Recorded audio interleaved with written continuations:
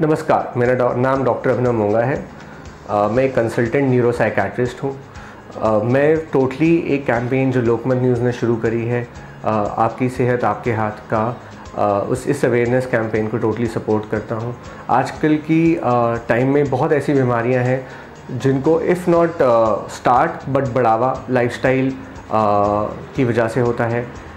Including lot of psychiatric problems जैसे कि depression anxiety insomnia stress यानी कि तनाव एक डेली ज़िंदगी का पार्ट है।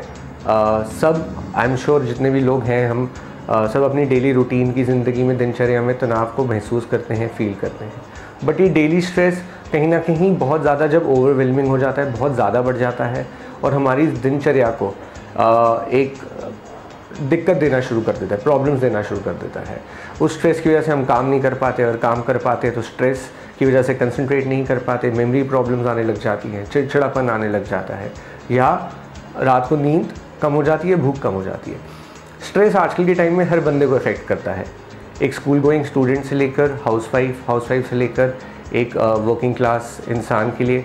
To you know old age old age में भी तनाव के बहुत कारण हो गए हैं आजकल सोशल आइसोलेशन लोनलीनेस करके।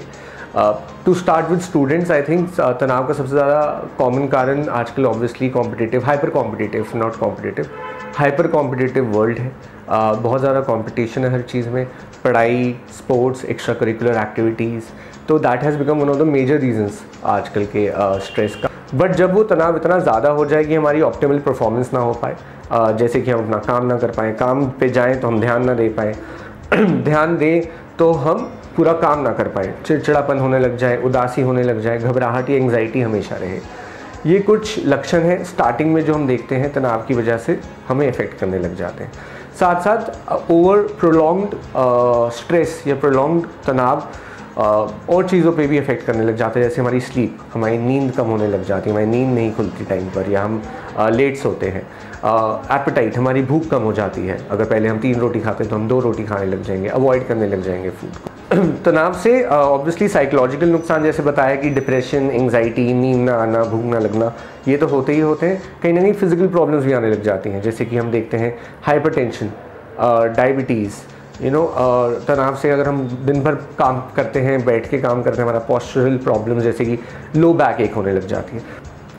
फोर्थ ऑब्वियसली फ़िज़िकल एक्टिविटीज़ जिसको मैंने पहले भी टच किया जॉगिंग वॉकिंग uh, आप जिम में जा सकते हैं एक्सरसाइज कर सकते हैं किसी भी तरीके की एक्सरसाइज करना बहुत ज़रूरी है। ये छोटे पॉइंट्स हैं बट बड़े इंपॉर्टेंट पॉइंट्स हैं जो हम यूजुअली मिस आउट कर देते हैं अपनी डेली रूटीन में जो कि हमें एंगजाइटी या स्ट्रेस के साथ कोप अप करने में बहुत हेल्प करता है।